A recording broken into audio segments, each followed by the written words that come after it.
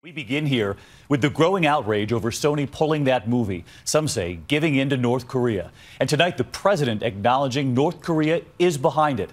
All over the country, those billboards now covered up, posters taken down, the movie, the interview that poked fun at the North Korean dictator pulled. Tonight, here, the new threat, what they want now. But first, the president and what he said about Sony pulling that movie. Did they give in to the hackers? Listen to this.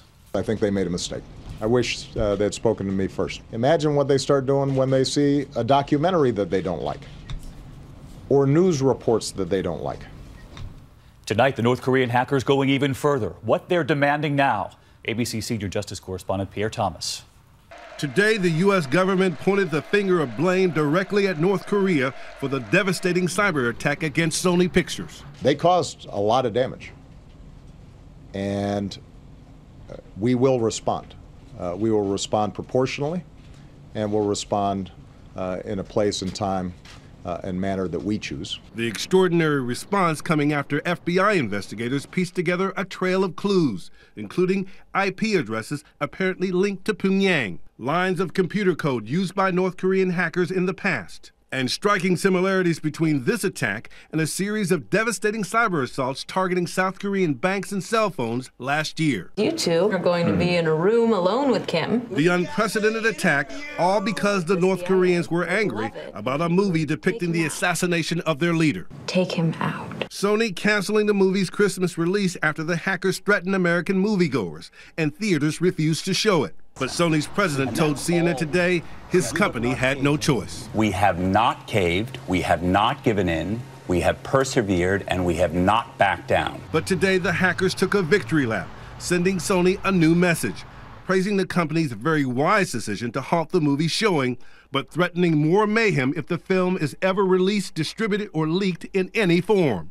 The masterminds, likely part of a secretive North Korean spy unit called Bureau 121, tasked with developing an army of so called cyber warriors, recruited as children and trained for years at this military school. Today, one of Hollywood's leading men said irreparable damage has already been done. Actor George Clooney lashed out at his Hollywood colleagues. He said when he went to industry heavyweights last week, asking them to publicly support Sony, no one would. This is how scared this industry has been made, Clooney told Deadline.com. He added, We have allowed North Korea to dictate content. That is just insane. Pierre's with us live in Washington. I understand we're hearing even more from Sony. They're going to try to get some version of this movie out there now? David, that's right. Sony just released a statement saying it's looking for other ways to allow people to see the film. Whether that will ever happen remains to be seen. Pierre, thank you. Let's get right to Jon Karl over at the White House. What's the president going to do about this, Jon? Will the U.S. take action against North Korea? The president was clear the U.S. will take action. The president said it will be a proportional response. It's unclear exactly what that means, but his national security team is developing a range of options, ranging uh, from new sanctions on North Korea to some kind of a cyber counterattack.